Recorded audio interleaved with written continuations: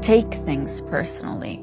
Because it's only when you take things personally that you are able to walk away from places that aren't for you. It's only when you take things personally that you're able to feel the pain, the anger, the frustration, the just going through that moment where you're just like, I just don't want to do this anymore. It's only when you feel the pain of what just happened that you are able to get to the other side. And then I got a quote of yours that you wrote in your book about this.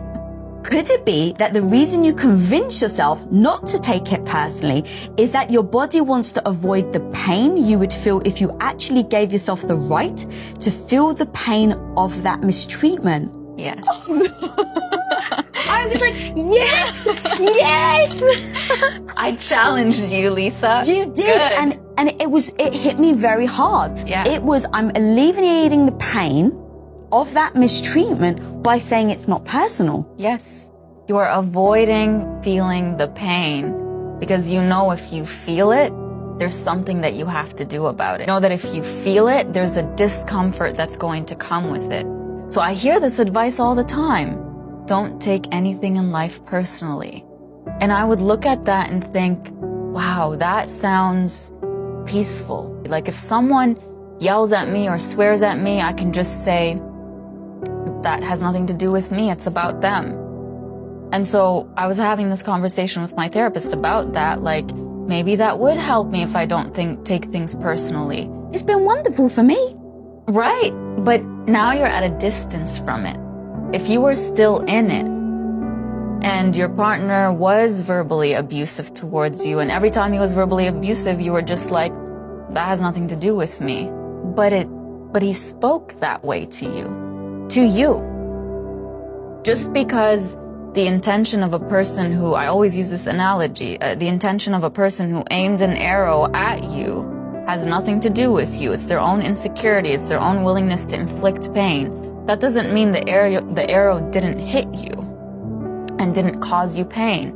Doesn't mean that you're gonna have to, it doesn't mean that you're not gonna have to go through taking it out and going to the hospital and getting stitches or it still hurt you. So you can take it personally. You should take it personally when someone who is supposed to treat you with the utmost love and respect doesn't. That hurts. So when you're like, you put that bubble around you of like, nothing ever hurts me. I don't take anything personally. I only judge myself based on my own decisions and that's what I'm defined by. That makes for a very lonely life and for a very guarded and sheltered life. It's actually the same thing that happens when you're with a partner who is very defensive. Because you say something to them, you know, that thing you said yesterday really hurt my feelings. And if they, if they were willing to sit with you in that pain that you are feeling as a result of what they said to you, it requires of them to take responsibility for what they said. But not only that, to understand why it's so hard for them to take responsibility.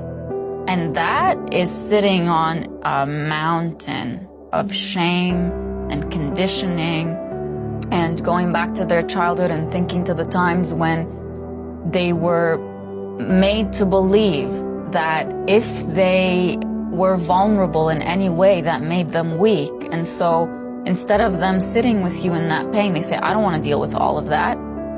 I'm just going to tell you something's wrong with you and something's wrong about the way that you think of things. So the same mindset behind don't take anything personally so that you don't feel all of that is the same reason that someone gets defensive. It's the same reason why someone uh, gets, uh, they would rather be verbally abusive towards you than show you the love that you need in that moment because they have to understand why they're not able to give that love. And that's a lot for them to deal with.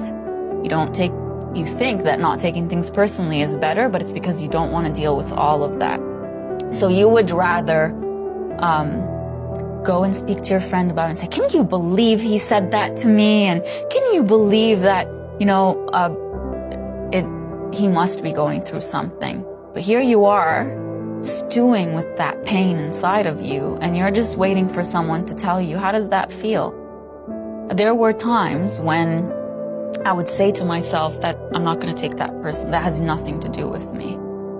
And literally the moment, hours later or days later, that someone that I love asks me, how does that feel?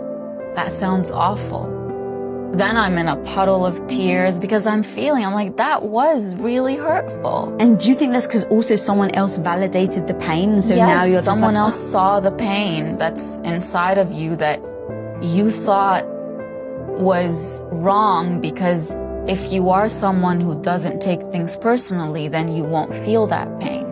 That's what we want to condition people to leave when we, to believe when we give them that advice, but it's very harmful advice. So you've heard this before, don't don't take this personally.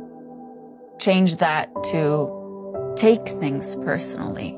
Because it's only when you take things personally that you are able to walk away from places that aren't for you. It's only when you take things personally that you're able to feel the pain, the anger, the frustration, the just going through that moment where you're just like, I just don't want to do this anymore. It's only when you feel the pain of what just happened that you are able to get to the other side.